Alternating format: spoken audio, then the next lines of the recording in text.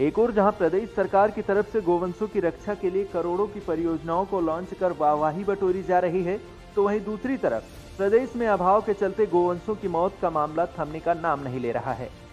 कुछ ऐसा ही मामला बहराइच ज़िले में भी देखने को मिल रहा है, जहाँ शहर में आए दिन गोवंशों की मौत का मामला सामने आ ही जाता है।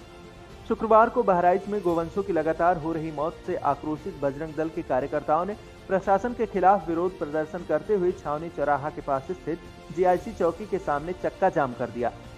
शहर में चिकित्सा के अभाव में लगातार हो रही गोवंशों की मौत अब लोगों का सब्र तोड़ चुकी है। बजरंग दल के पदाधिकारियों ने प्रशासन पर अनदेखी और अभाव का आरोप भी लगाया है।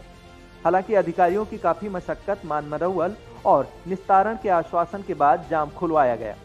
बजरंग दल के नगर संयोजक गौरव गुप्ता का कहना है कि लगातार हो रही गोवंशों की मौत सामान्य नहीं, बल्कि चिकित्सीय अभाव और प्रशासन की अनदेखी के चलते हो रही है। जाम लगाने का उद्देश्य गौवंश की हो रही मतलब मृत्यु के कारण। मृत्यु उनको हत्या कहेंगे। संसाधन और चिकित्सा के अभाव में लगातार गौवंशी की जो मृत्यु हो रही है, बारह घंटे के अंदर दूसरी घटना पंद्रह दिन में तीसरी घटना है, जो सिर्फ़ चिकित्सा और संसाधन के अभाव में हुआ। शासन के अमली जामे को जमीनी स्तर पर कोई नहीं पाने रहा। प्रशासनिक अधिकारी उसका क्या कर रहे हैं कोई उसका उत्तरदायी नहीं है कोई जवाबदेही नहीं जिस मौके पर पुलिस आती है मौका अपना पुलिस काम करती है।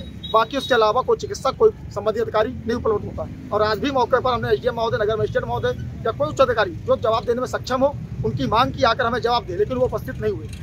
कल का आश्वासन दिया गया बैठक में आखिर ये जिम्मेदार इसका कौन इसका जिम्मेदार प्रशासन है।